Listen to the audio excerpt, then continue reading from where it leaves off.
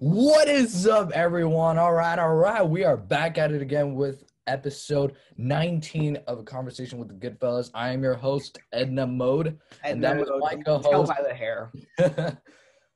Actually, my hair does not look bad. Uh, my mom um kind of dry haired it. I combed it all the style.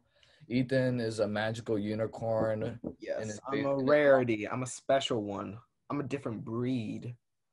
Uh, Ethan, how is it going with all the stuff that's going around? The What's the wildfire. that's going around? Well, the, well, you got the wildfires. You got Trump speaking tonight. You got Matthew as a guest today. Oh yeah, that's right. Announce our guest, please, Ethan I can't pronounce his last name. Lofberg. Matthew Lofberg. Yeah, Our guest is Matthew Lofberg today.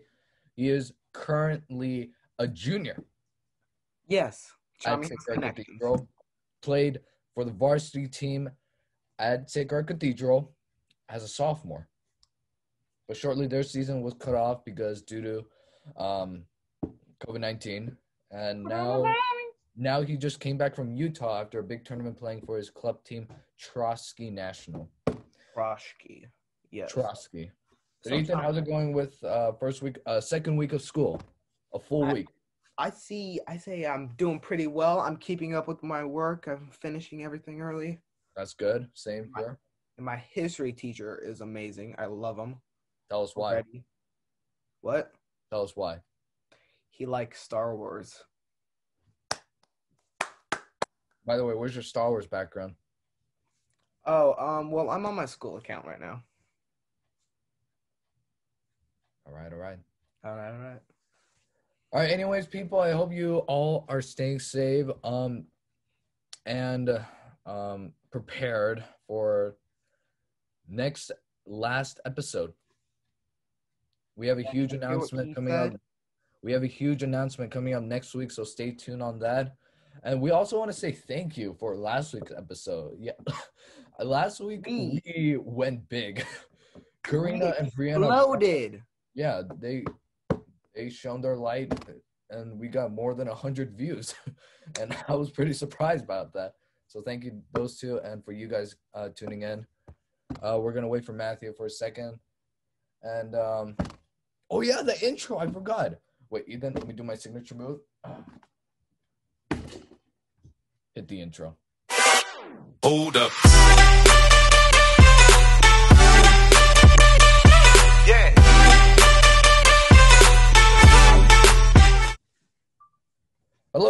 Everybody. Welcome back to episode 19. This is your host, Chami Choi. And next to me, or behind me, or next to me, that's Ethan Arguello, my co host. Ethan, how's it going? It's going great. I'm feeling good. I got a unicorn head on my whatever. Yeah, And I'm feeling great. that's amazing, kid. Um, wait, no, no, fix that unicorn. Uh, I, this is not My Little Pony, man. You don't you don't like it? No, I don't like it. No, no, just change it. This Yeah. better? You're not Batman. You're, you know what? Never mind. Just, just get, get out, okay? Just get out. Okay, okay. I'm, my bad. Anyways, our guest today for episode 19 is a junior at Sacred Cathedral, played for the varsity team for the Fi- uh, Fighting Irish team as a sophomore, and now playing currently playing for the Trosky national team, and just came back from a Utah tournament. Please give up for Mr. Matthew Lofberg. Matthew, how's it going? Uh, it's going well. Going well. How are you? Good, good, thank you. Um, how's you know how's everything you know with the quarantine and COVID nineteen situation? Um, I mean, it's pretty slow, but as of everything right now, it's going pretty well. I mean, school just started, so it's all right. And you just came back from a tournament from Utah last week, and tell us about that. How was that? Um, really well, really well. I mean, we started slow, but ended pretty fast with a big win in our last day. So it's always good to end a tournament with a win. Was that the first um like tournament you returned from uh since quarantine? No, so I played um two in Arizona earlier, Oh, like okay. I think a month earlier. So we played two in Arizona, and then this was our last for the summer. oh, so you you've been traveling a lot lately. Yeah. Well, then obviously you had a lot of experience playing baseball over the past years, and after you know a short season playing for your school on the varsity team, you know how was that? Um, I mean, it was, yeah, it was short. So we didn't really get the experience we could, especially playing. We didn't start the on season with the WCAL teams, but we did get to play some pretty good teams like Palo Alto, Tamalpais. So good games. But um, yeah, it was overall pretty good. Just wish we could have played the season. Yeah. And how was it like being selected as a sophomore to the varsity team? Um, it was really, really good. Um, I mean, when coach told me that I made the team, it was really, it was a good moment. Um, I got called up freshman year at the end to bullpen catch and just watch this the two seniors then, and that was pretty cool. So I think that really just prepared me for my sophomore season. And was it you who were recruited and other players from the freshman team? Say that again. So like was it just you or were there other players from the former freshman team that went up with you to the varsity level as a sophomore? Um, yeah. So it was me, Colin Spear, Casey Levitt McGee, and Ivan Herrera. Oh, okay. And you Yeah. got you had an incredible team chemistry with them, uh, you know, after a short season, even with the varsity. Yeah. Yeah, so um we all had pretty good team chemistry. I mean, we had been lift we had um lifting all off season with each other, so we got to know each other pretty well and work out with each other, so that was good. hmm I bet. And speaking of having good te- uh, chemistry, do you consider yourself as like kind of like a leader for your Trosky team? For my Trosky team, I would say so. Yeah. Um Oh, really? hmm Yeah. So, um, I mean, for my Trosky team, we're really all leaders, and it's like, it's really not hard to go into that team and feel like you're just one amongst others. I mean, it's really just like a family there. So, it's pretty easy. Pretty easy. And Yeah. you guys started a little slow, you know, as you said earlier. Yeah. You guys picked up the pace by like how? Like, do you did you guys like have kind of like a special way like other teams in? I mean, um, really, we all after our first game, we really kind of just looked at each other and we all knew like we really had to pick the pace up. Like we should have beaten the team that we played, and it shouldn't we shouldn't have even lost them. So I think t- to each other, we were like, we really just got to step our game up, and we played really well the last three games. So it was good. Do you consider sticking with the Trosky national team um, until your junior year or senior year? Um, Trosky American team. So the national team is a bunch of bigger guys, but um, the Trosky American team, American. So yeah, I'll stick with them until the season. Ethan? So, what's your plan for junior year? Do you have like anything specific you're gonna do to like step up your game in baseball or in like academics? Um, so baseball wise, I'm just working out every day, hitting every day, throwing every day. I'm just getting stronger, faster, and really just getting to know the game better. And especially with the league that we're in, there's a bunch of big guys, big teams. So really just trying to keep up with those guys. And academically, just really focusing on uh, maintaining a certain GPA. So for me, it's above a 3.0 if I want to go to certain types of colleges. So yeah, just really maintaining that GPA and um, talking to teachers and making sure that I'm on time with work and stuff. Do you have like a college you're looking at? Um, St. Mary's is always good. Um, I went to St. Mary's camp and fell in love with it right away. So I like St. Mary's right now. Some UCs, um, CSUs, a couple one in Nevada, some in Arizona. So really just everywhere. All right. Johnny. So obviously you started playing baseball since uh, what age? Four. Four years old. Wow, at a very young age. I started playing baseball when I was nine years old. And Ethan started when he was like what, twelve years old? No, I think I started when I was nine. Stop lying. I'm not lying. so, anyways, Matthew, when you played, when you started playing baseball as a four-year-old, did you have any like role models that you know helped you push harder and putting more effort into um, having more experiences playing the game? Um, I mean, I was always surrounded by my grandpa and his friend and my uncles, and they were all they all played, and it was, Oh. they all yeah they all played. Um, my grandpa played at SI, so um, he would always I saw it. so when when when he figured out I was going to SH, he was like, oh okay. Um, but were- yeah, so You wasn't Huh? mad. He wasn't mad. he, he wasn't mad. He was just kind of like, okay, okay. Yeah, I, Um, I, I'm pretty sure on the inside he was a little hurt. I could tell. um, his friend probably, because I mean, his friend had a harder time taking it than he did. But uh, yeah. So them, my grandpa and his friend definitely um coached me a lot and definitely just pushed me to be a better player all the time. so like you, you quite had a baseball family back then. Yeah. Right now, Yeah. obviously. Um, Yeah. how about any like coaches that stuck with you? Um, like club teams or um, right now the Irish team. I mean, yeah, um, as of now, my Trosky coaches are pretty amazing. I mean, just really every day, just emailing, texting them, just always keeping up with workouts, updating stuff, updating stats, always testing, and um, just always pushing me to be better every day. I mean, that's one of our models for Trosky is better every day. So, um, just really trying to become a better player um, in whatever I do. So yeah, I mean, uh, definitely the SH coaches because they hold a standard for me, and I want to meet that standard, and I want to grow upon that standard every single time that I step on the field. So yeah, And during the spring season uh, back then, you played for the San Francisco Crabs um, for Rob's team. Uh, what's your chemistry and relationship with Rob? Because I see I mean, you've been working with uh, him long time ago. yeah, I mean, as as of now, I'm not playing with his program because I'm solely locked in with Trosky right now. But yeah, he's a great coach, and I respect everything that he does. I Mhm. think that everything that he does really plays a part with the success with the SH team, and you see a lot of good players coming out of his program. So yeah, I have a lot of respect for him. And I want to bring this question to Ethan. Ethan, what is your plan when we go back to campus? Oh Lord. Um.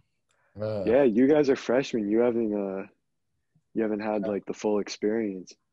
Yeah, it's all online, which sucks, bro. Language.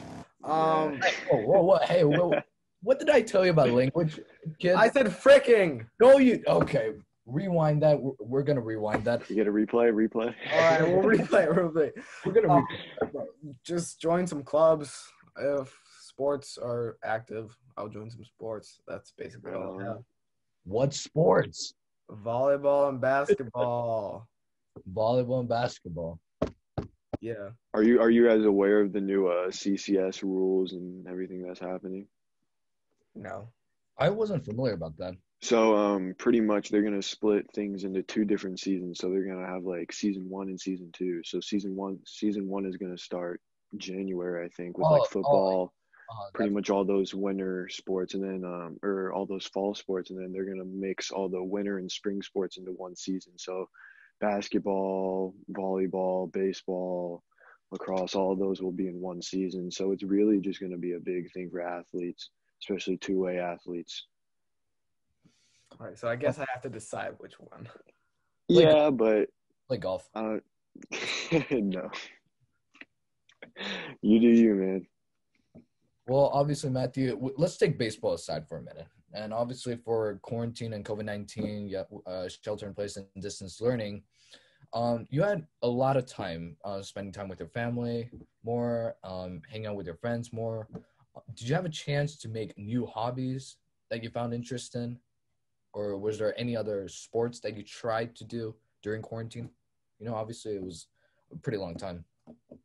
yeah um not really. I got into somewhat of a music type of thing. I would start listening to more music starting to kind of um, taking beats from other songs and putting my own words into them so that was kind of cool. But other than that it was really just trying to work out knowing that like it could all end tomorrow and we could all be back at it again. So just trying to stay strong and stay healthy let's say and I, i'm not going to wish this for you but like let's say like you know baseball doesn't work out in college Yeah. well do you have a second passion in your back pocket just in case I mean, um, as of right now, what I want to do after I'm done playing is I would possibly want to become a coach. And um, oh I know that, yeah, going into college, I want to have some sort of business degree and some sort of coaching knowledge and knowing something like that, whether it be a physical trainer, baseball coach, or just some sort of trainer in general. But yeah, I mean, that's really what I'm planning to do. Well, obviously, you're not going to take baseball aside then. You're, you're just going to like baseball. So baseball is in your blood. I could tell, man. Yeah. Definitely. Um. So you said your dad and grandfather did have experience playing the game. No, my dad um played he he grew up on the East Coast playing lacrosse and he played D1 lacrosse at Villanova. So Oh, the wow. the athlete side runs in our family. Um my grandpa, my mom's side is a big baseball family. So Hmm. that's where really it comes and the athlete side really comes from my dad's side. Well, I want to ask this to Ethan again because we Oh, need some Lord. more entertainment. What do you do in your free time, Ethan? Um, recently, burritos. okay. Um, recently, bro, lightsabers. I'm looking up some lightsabers to buy. nice. Okay, Tom, don't judge me. Don't judge. Okay, whatever. Um, are you sure that's it, Ethan? I mean, there's got to be more than that. I mean, what Matthew what Matthew provided has tons of hobbies and tons of like baseball stuff. Oh. You, He's calling you out, man. Gotta provide. Um, you know, Tommy, I'm lazy. I don't do a lot of things. I want you to admit it. Oh wait, you did admit it. Thank I you. I did. Thank you. You're welcome. Um, Ethan, let's say volleyball and basketball doesn't work out. Yeah. What's your third option? Um, engineering. Engineering? Yeah. Whew. Oh man, hey, That's tough. man knows where he wants to go. Yeah. engineering. Right on. Good luck with that. Yeah. Well, Tommy, what do you want to do if baseball doesn't? work? Yes, Chami. Um, playing golf. Okay. What if golf doesn't? Stop, work? stop. Nah. golf doesn't work out, probably just take my chances in the in the cinema world. I love movies. Director or good like word. actor though? Uh, screen screenwriter. Oh. Hey, they they have they have an acting class at SH. I took it last year. It's pretty dope. Yeah, I'm with. Yeah, we're the first um freshman acting class. Right on. Uh, without further ado, I think that's that concludes our episode. This is a fun, entertaining episode. Uh, Matthew, Mr. Lofberg, I want to say thank you for accepting our invitation and being our last guest for season one of our podcast. We have a huge Word. announcement coming up. Uh, Matthew, any last words? Nah, All right. Um, thank you for being on the show, Matthew. of Uh, course. excellent answers. We'll be right back, and we'll be at. Oh yeah, Ethan. Uh, please say the advertisement of our show, please. We are sponsored by Chipotle. Please go buy a burrito. Thank you. All right, Matthew. Thank you for um coming here on our last episode of season one. Um, we'll be right back. Stay tuned with our final episode next Sunday of season one of a conversation with the Goodfellas. Matthew, we'll see you at school, hopefully. See you, bro. If I were a human being, I'd head straight for New Orleans. And I'd blow this ever. You heard of Louis Armstrong, Mr. Sidney Bechet. All those boys gonna step aside when they hear this old ex-skater play. Listen.